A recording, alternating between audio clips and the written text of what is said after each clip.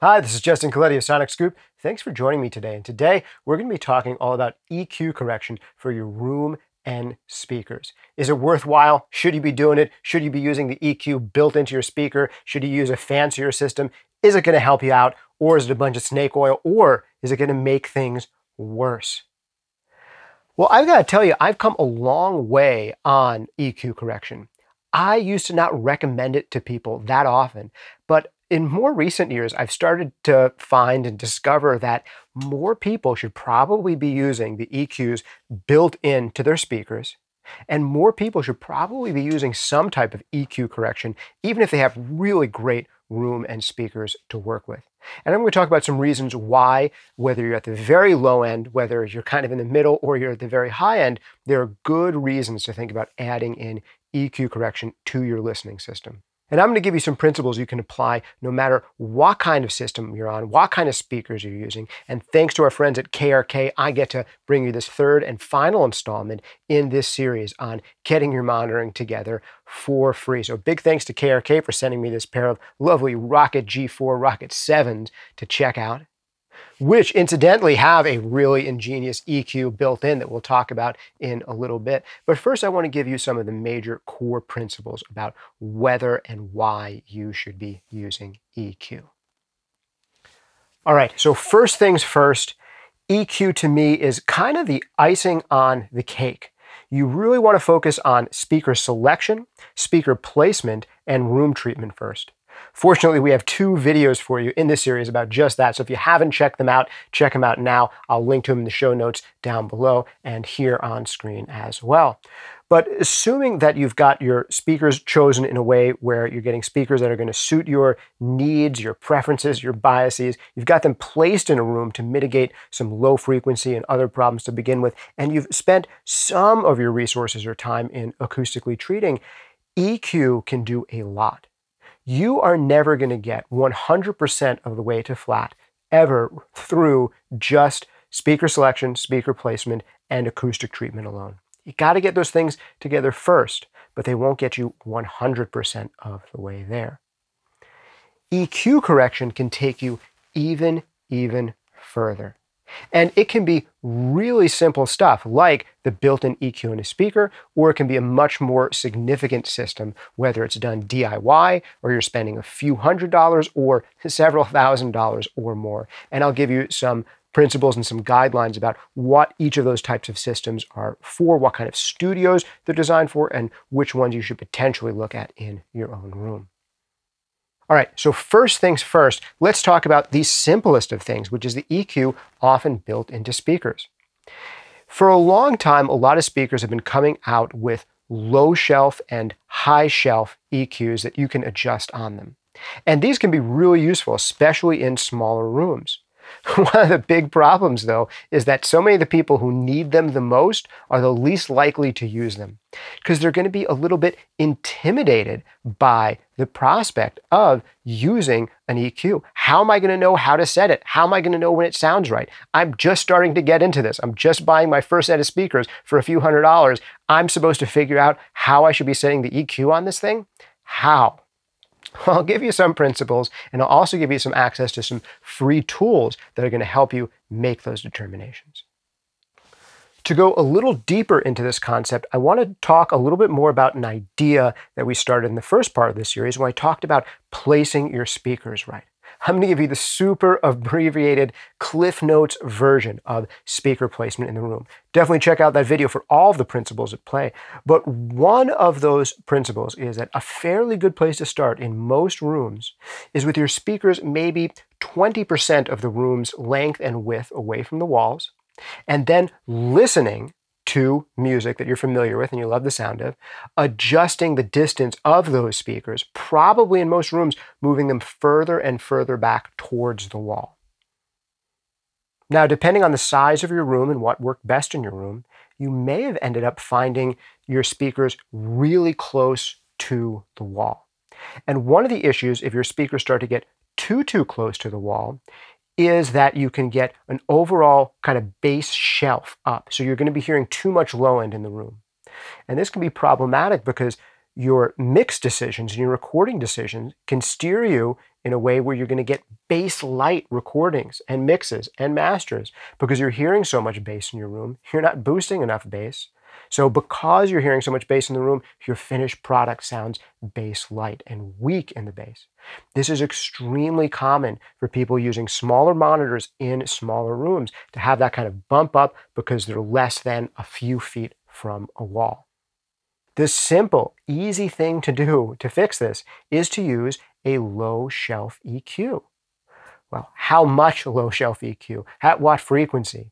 Fortunately, you don't have to use just your ears because KRK has this free iOS and Android app that you can download to your mobile device that has a real-time analyzer built in. And this will allow you to visualize what's going on in your room, how far you are off from neutral. It's even got its own signal generator built in. You can just click here, play some pink noise through your system. All you've got to do is just get a cable out to your two speakers. They just take, you know, quarter inch input or XLR inputs in the back. You can use this with any speakers.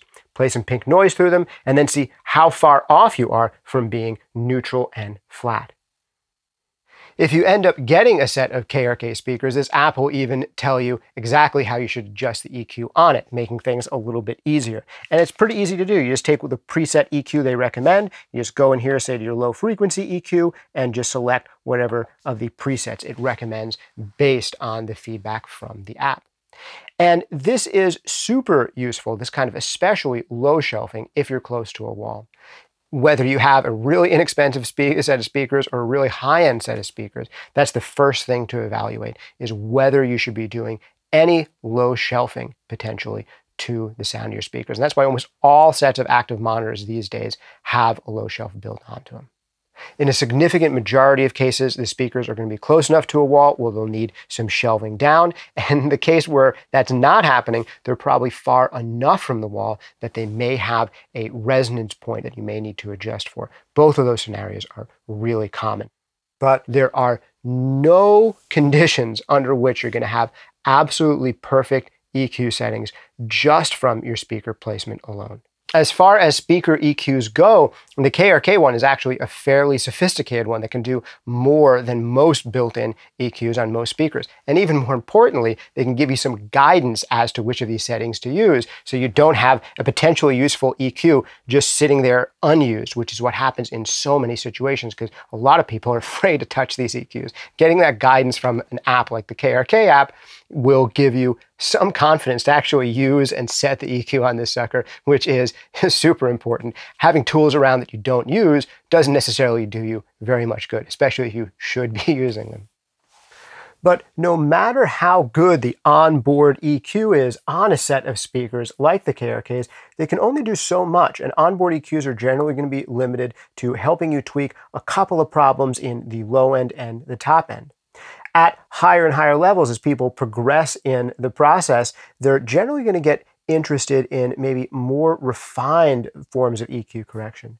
And there are today some kind of off the shelf solutions for that. Back in the day, you would have had to get a measurement microphone, which were very expensive back then relative to what they are now, and then maybe some hardware graphic EQs that you'd put in front of your monitors. But these days, these off the shelf solutions could be something like Sonarworks. That's a very popular all-in-one solution. IK Multimedia has their ARC system, and there are other options out there all the way up to the Trinnov systems, which instead of costing a few hundred dollars, can cost a few thousand dollars or more. It's still possible to DIY this whole approach by getting a measurement microphone, which are pretty inexpensive these days, and then setting up some EQ curves in your DAW. But these off-the-shelf solutions, whether as inexpensive as the ARC system or the Sonar Work system or as expensive as the Trinnov system, are generally going to give you a lot more EQ points to work with, and there's a lot more automation in the process that can remove some of the second guessing and really help you analyze what you're doing.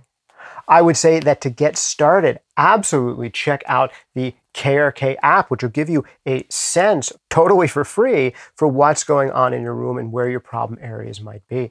If you're looking to get into really sophisticated EQ correction with multiple points beyond what you can do with an onboard EQ, then that's going to require slightly more sophisticated solutions.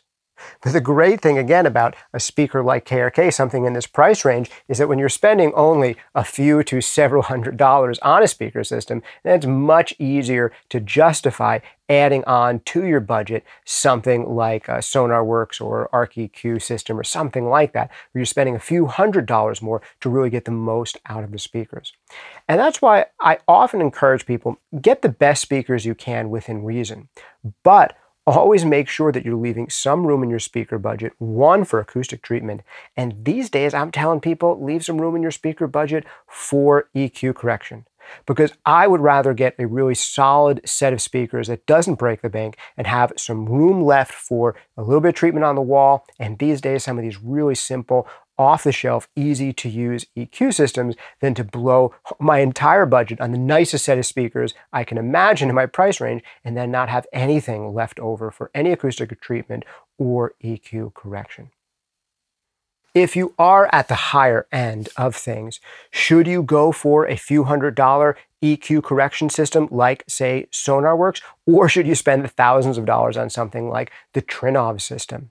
Well, that's a personal choice, but I will say that one of the limitations potentially with the Sonarworks system is it's not necessarily that great yet at switching back and forth between multiple sets of speakers. That's something where the Trinnov system that also acts as a monitor controller really comes in handy because you can have different EQ settings for each of your speakers and as soon as you click one button you're switching to a new set of speakers and a new EQ whether that's worth spending closer to four or five thousand dollars rather than three or four hundred dollars is up to uh, your needs, your budget, the kind of work you're doing, whether you can justify that expense. But with a little bit of extra work when you're switching between speakers, the Sonar Work system really is a fantastic one that we've been recommending to a lot of people. And there are probably going to be a lot more solutions like that out there. For those of you who cannot justify spending a few hundred dollars or more on EQ correction for your room, then it's even more essential to you to find a system like this one where you have a good EQ built in that will give you some feedback on how to use it. Because, like I said, the biggest problem with the EQs built into so many speakers is that people lack guidance on using them and don't ever even turn them on. And that is, again, where the KRK app and its built in EQ recommendation system really comes in handy. And if you didn't have the foresight to get a set of speakers that has a feature like that, you can use this KRK app still to give you some information for free about how your speakers in your room are working together and will at least give you a sense about how far you are off on your bass and your treble so you can adjust the EQ on your speakers to give yourself a little bit of extra lift in the bass or decrease the bass slightly, which is often needed in smaller studios with speakers closer to the wall. So you can still get some insights even if you don't have a speaker system that has that kind of feature built in.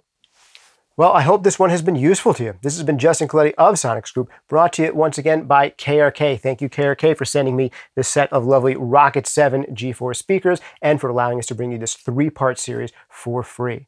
If you like this installment, be sure to check out the other two on placing your speakers in the studio and acoustic treatment for your studio. Thanks for hanging out with me. See you next time.